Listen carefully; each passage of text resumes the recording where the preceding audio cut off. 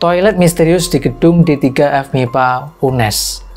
Jadi ceritanya bermula dari seorang mahasiswa jurusan matematika Fakultas MIPA UNES yang berinisial A. Jadi kita sebut saja dia Amoy. Nah, si Amoy ini pada suatu hari mengikuti mata kuliah kalkulus bersama satu orang temannya yang berangkat pada saat itu itu barengan gitu ya teman dari Amo ini tahu gitu karena dia pernah mendengar cerita bahwa di gedung D3 ini sering terjadi kejadian mistis apalagi di lantai 3 itu tepatnya yang akan mereka tempati untuk kuliah pada hari itu. Sebelum mereka nyampe di ruang kelas, temannya si Amo ini sempat mengingatkan kepada Amo itu ya. Eh nanti kalau misalnya pipis atau kebelet pipis, nanti pipisnya pas sampai di perpus aja ya, jangan di sini ya udah iya nanti kalau misalnya kebelet tipis nanti diperpus aja nanti gampang lah gitu. Nah akhirnya mereka sampai tuh di ruang kelas tepatnya di lantai 3 gedung D3 MIPA itu.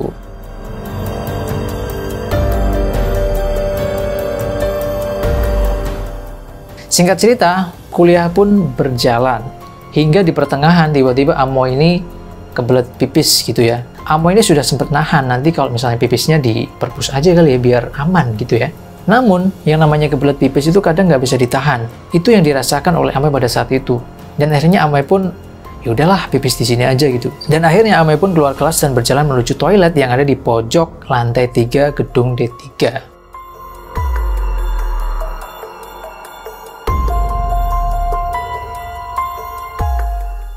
Sampai tuh Amai itu di toilet tersebut dan masuk gitu ya, buang air, hingga hampir selesai itu emang nggak ada kejadian apa-apa ya Nah, pada saat Ama itu mau keluar, biasanya kalau di pintu-pintu toilet itu kan ada eh, lubang-lubang kecil garis itu di bawah ya.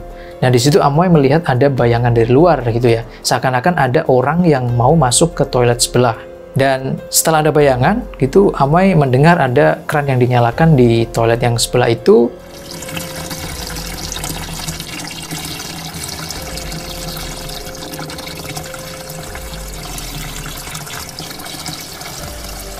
Di situ Amoy bukannya takut ya, tapi malah merasa tenang karena ada temennya yang awalnya dia khawatir. Lalu si Amoy ini keluar dari toilet dan ngecek itu di toilet sebelah, kok pintunya terbuka. Padahal tadi kan kayak ada orang masuk gitu ya.